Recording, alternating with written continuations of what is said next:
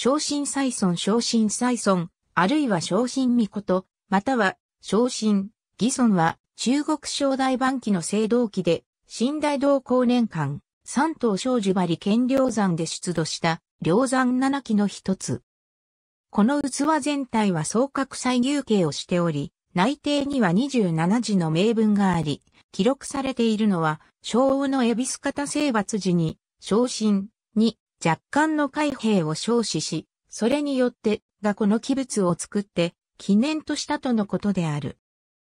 この器は出土後、アメリカに流入し、国際オリンピック委員会会長アベリー・ブランデージの収蔵品だったことがあり、現在はアメリカのサンフランシスコアジア美術博物館に所蔵されている。昇進再村は、新代同行あるいは皆豊か年間に三島少女張剣梁山で出土し、同時に出土したものには、青銅かなえ、弦などもあった、と伝えられる。これらの青銅器の器型は、総言重工、文様は華麗繁殖で、終章青銅器の典型的代表であって、合わせて、梁山七器と称する。昇進再村は出土後に海外に流出し、1920年代初にアメリカ人アベリー・ブランデージに収蔵された。当時のブランデージは裕福なエンジニアでビジネスマンであり、熱心なコレクターで、なおかつ優秀なアスリートであり、後になって国際オリンピック委員会会長を務めた。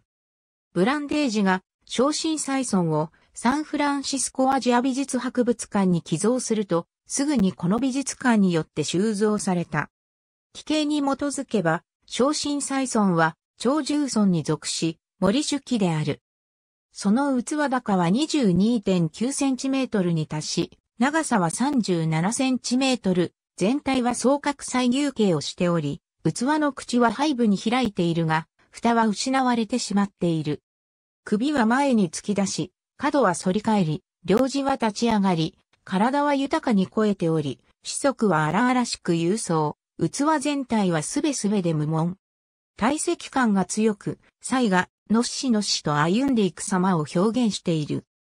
野生のイは中国では、すでに席を立ち、絶滅前の久しい期間にも、わずかに雲南に分布していたが、正代には、イはただ、中国南方に幅広く分布していただけでなく、郊外北にさえ多くの生息地が存在していた。昇進再村の奇形は、写実的で純木差を表し金に富んだ一頭のスマトラサイを造成し得ている。昇進サイソンは現在、サイを造形したものでありを唯一の正代の青銅器である。中国にはもう一つ、サイを造形した青銅器があり、それは1963年、先制公平豆馬村出土の作金銀、雲門堂サイソンである。作金銀雲門堂サイソンは現在、中国国家博物館に収蔵されているが、鋳造年代は前漢時期であり、昇進再村の正代より、はるかに遅れる。名文昇進、再村は重要な歴史価値も備えている。副中の異名文4行、総27字、長字、王、王治昇進、外、古鳥王、車里方、古鳥王重島田語、日。定子、王慶を称し、王昇進に、害を賜う、入れ王の来たり恵比寿方を制する、入れ王の十四股子の日。長寿、定子の日。陰人は、漢式日で、正代の干支の中、美は、と記され、子は、と記されていた。王、昭王が、慶を巡視した。慶は地名である。王治昇進、外、昭王が後で獲得した、戦利品の海兵を、昇進に称しした。駅は、賜物に通じる、少子。昇進は、官職名、省庁は、建国より滅亡までずっとこの昇進という官職を設けていたものの、責任を負う業務はそれぞれ異なった。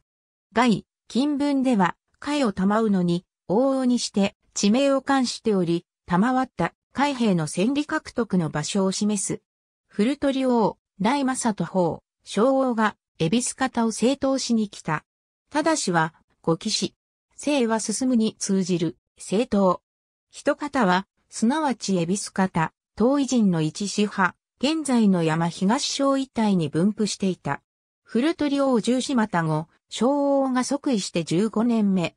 終代の王十股五子に異なり、正代はすべて王十四股ごときする形式であり、他にも万法廷のただ大二十四股にもそうである。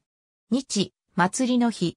この記載中の恵比寿方の征伐については、同時期の甲骨文と、その他の青銅器の名文と相互に裏付けることができる。この器の名文中の王は、正代晩期の君主帝オツあるいは、帝カノトであり、それはこの器の鋳造が、帝オツあるいは、帝神の時期であるはずである。日本の中国史学者、貝塚茂樹も陰末の東方計略に関する重要な記述のある、この名文に注目し、後に古代院帝国に結実する研究の一つとなる論文、陰末収書の東方ヘ略についてを執筆した。ありがとうございます。